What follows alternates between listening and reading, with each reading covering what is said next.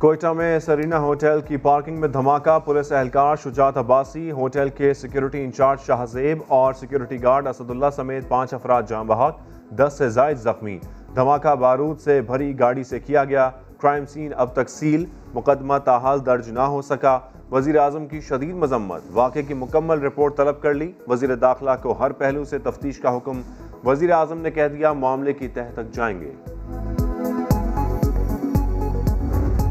पाकिस्तान को अंदर से कमज़ोर करने के लिए और सी पैक मनसूबे के खिलाफ एक साजिशें हो रही हैं इस धमाके को। सीरियसली लिया गया है और एक ऐसे वक्त में हुआ है जब चाइनीज़ एम्बेसडर इस होटल में ठहरे हुए थे।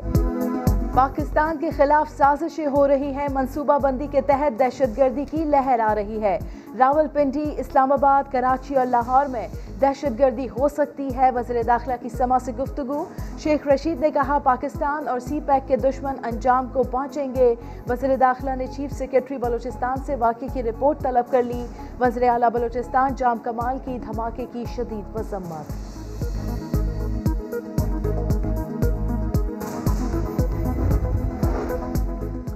चीनी सफीर धमाके के वक्त कोयटा कैंट में मौजूद थे। धमाके से उनका हौसला पस्त नहीं हुआ। वज़ीर दाखिला बलूचिस्तान जियाउल्ला लांगो का कहना है कि दोस्त मुल्क के सफीर के हौसले बुलंद हैं। वो अपनी सरगर्मियाँ जारी रखेंगे, दौरा मुकम्मल करके वापस जाएँगे। दौर में जब मैं और इमरान खान के साथ शाना शाना खड़ा था, उस वक्त भी नून लीग ने पूरी मेरे कारोबार की छानबीन की थी। मगर ये वाला काम जो हुआ है ना कि एक सिविल केस को, जो एक कॉर्पोरेट केस है, उसको फौजदारी में कर दिया है, ये ढूँढने ने नहीं किया। सिविल मुकदमे को फौजदारी में बदल दिया। ये काम तो नून लीग ने भी ना किया। जहांगीर तरीन के शिकवे दो टोक कह दिया किसी हुकूमती कमेटी से नहीं, सिर्फ़ वज़ीर आज़म से मुलाकात करेंगे। जल्द इमरान खान से मुलाकात हो जाएगी, बोले जो एफ़ आई आर दर्ज हुई, इनसे मेरा कोई ताल्लुक नहीं, केस भी एफ़ आई ए का नहीं। तरीन का चालीस अरकान असम्बली साथ होने का दावा नौमान लंगरियान ने भी दावा कर दिया। वजर अला उस्मान बुजदार ने मामला जल्द हल होने और वजर अजम से मुलाकात की यकीन दहानी कराई है। कॉरपोरेट फ्रॉड और money laundering case Lahore session court में जहांगीर तरीन और अली तरीन की पेशी। एफ़ आई ए हुकाम ने रिपोर्ट पेश की। आइंदा समात पर एफ़ आई ए से जहांगीर तरीन के अकाउंट्स की तफसीत तलब। अबूरी जमानतों में तीन मई तक तोसी।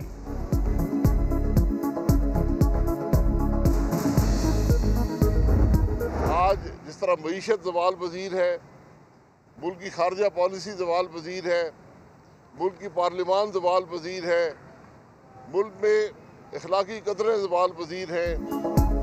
मुल्क में इखलाकी कदरे और पार्लियामान जवाल पजीर हैवान में स्पीकर को जूता मारने की धमकी देने वाले शाहिद खाकान अब्बासी के इखलाकियात पर लेक्चर बोले तो नहीं जो स्पीकर नामू से रिसालत पर बात ना करने दे, वो सहाफत पर बात करने देगा। स्पीकर से माफ़ी मांगने से साफ़ इनकार कर दिया। मैं सिर्फ़ एक ज़ात से माफ़ी माँगता हूँ। स्पीकर से किसी और इंसान से माफ़ी नहीं मांग सकता। पाकिस्तान में कोरोना से मजीद अठानवे अफराद की जान गई, पाँच हज़ार आठ सौ सत्तावन नए केसेज रिपोर्ट, मस्बत केसेस की शरह दस फ़ीसद से ज़्यादा रही, एक्टिव केसेस चौरासी हज़ार नौ सौ पैंतीस हो गए। बड़े शहर बंद कर सकते हैं। असद उमर ने खबरदार कर दिया। सरबरा एन सी ओ सी कहते हैं, कोरोना का फैलाव रोकने के लिए बंदिशें मजीद बढ़ाना होंगी। वजी अजम के मोम ने खसूसी डॉक्टर फैसल सुल्तान ने कहा है, कोरोना का फैलाव ख़तरनाक है, मुमकिन है दस बड़े शहरों को कुछ दिन बाद बंद करने की तजवीज़ पर गौर किया जाए। पॉजिटिविटी रेट देखकर लगता ही है और अमवात की शरह देखकर लगता यह है कि आपको कम अज़ कम दस बड़े शहर जो है, वो हफ़्ता दस दिन बंद कर देने चाहिए। इसके अलावा मुझे तो कोई और तरीका समझ नहीं आता। कि नेशनल डिसीज़न मेकिंग में सारी ऑप्शन हमेशा टेबल पे होती और मुमकिन है कि ये भी करना पड़ता गुस्ताखाना खाकों के खिलाफ पाकिस्तान की आलमी मुहिम, वज़ीर खारजा ने दौरा ईरान में आवाज़ बुलंद कर दी। कहा, पाकिस्तानी कौम गुस्ताखाना खाकों के बाद शदीद कर्ब और दुख से गुजरी आलमी सतह पर आवाज़ उठाना हमारा फ़र्ज़ है। उम्मत एक नुकते पर मुतफिक हो जाएगी।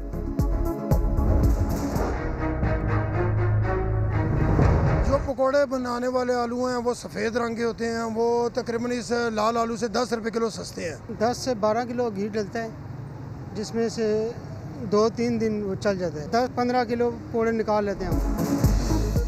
नाजायज मुनाफाखोर होशियार समा बताएगा कैसे होता है आवाम की जेब पर वार। आज सेगमेंट में बताएँगे पकौड़े बेचने वाले कितना माल बना रहे हैं, एक किलो पर कितना कमा रहे हैं? पेट्रोल पंप वालों की चोरी भी पकड़ी गई।